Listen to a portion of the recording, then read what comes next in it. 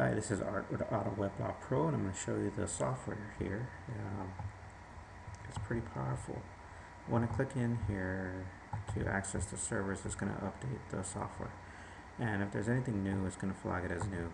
As you can see here, there are three new areas, and it has flagged as new. This is the table of contents. And through here, this software basically covers anything you can think of for internet marketers, for bloggers, and even for some businesses that don't use the internet. A lot of these uh, documents pertain to them as well. Uh, when you click into these areas, you'll notice that there are sub areas uh, for the certain areas that you click into. So, you know, if there's something to do with trademarks, you're going to notice that there are a few uh, more subsections that can take you into more detail. But for this uh, example, I'm going to show you, or this demo, I'm going to show you uh, privacy policy documents and I'm going to show you what I use.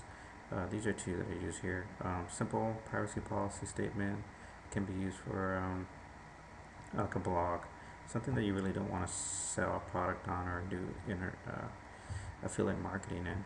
But for those that do affiliate marketing, you're selling products, you want to go ahead and use a comprehensive privacy policy. It just protects you a little bit better. So let's go ahead and we're going to enter my website here it's asking for right, right now. Enter that. We're going to enter a date and see. Today is June the 7th. Um, we're going to enter a email address and we're going to enter, this asking for the state. So let's go put California. It's asking me here where mediation is going to happen. We're going to go ahead and put in San Diego. So that's where I live and the area where arbitration will take place, and that's San Diego.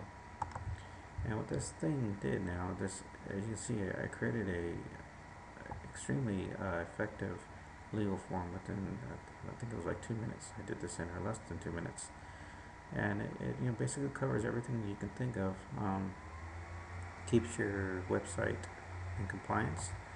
Um, I use this on all my websites and I know there's a number of different marketers that I know that also use this software um, for their website so it's really effective and it's actually backed up by um, an attorney as well. They're the ones uh, uh, have that created this software so it's something that you can trust and it's something that has served me well for quite some time. So I hope you guys give it a try and um, if you have any questions um, feel free to go ahead and contact me on my website. And uh, the website again is uh, legal document software.net. All right, thank you.